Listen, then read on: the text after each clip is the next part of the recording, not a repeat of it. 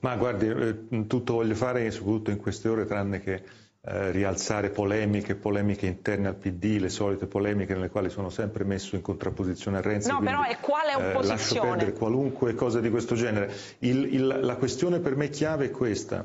Bisogna che i politici capiscano che di fronte alla fatica, alla difficoltà che le nostre società stanno vivendo, alle paure che le nostre società stanno vivendo, i politici in particolare devono non prendere il fiammifero, accenderlo e buttarlo sulla paglia che facilmente poi prende fuoco, ma devono fare esattamente l'opposto, cioè devono fare un lavoro che sia un lavoro a partire dai linguaggi, questo è per me il tema principale del libro, eh, usare la parola imparare nel titolo del libro, per me è stato questo, io lo sto facendo portando in giro eh, il libro e discutendo soprattutto con i giovani, per me la questione essenziale è questa, riuscire a far sì che in questa fase così complessa, drammatica delle nostre società, i politici, non è solo i politici, penso i giornalisti, voi avete un ruolo fondamentale, così come gli educatori, gli insegnanti, deve essere una fase nella quale si aiuta non a far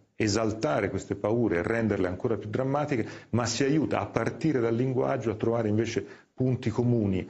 La grande forza, voglio terminare con questa che può sembrare un po' retorica, invece la, a me piace molto Dobbia... questo riferimento, il grande forza del nostro paese è stato il miracolo economico. Dove l'ha fatto e come l'ha fatto il miracolo economico l'Italia? L'ha fatto con il rispetto reciproco tra forze politiche che pensavano a mondi diversi, ma si rispettavano reciprocamente. Ognuna sapeva che l'Italia era fatta anche dell'altra. Questa idea che oggi devi distruggere l'avversario è un'idea che io non accetterò mai.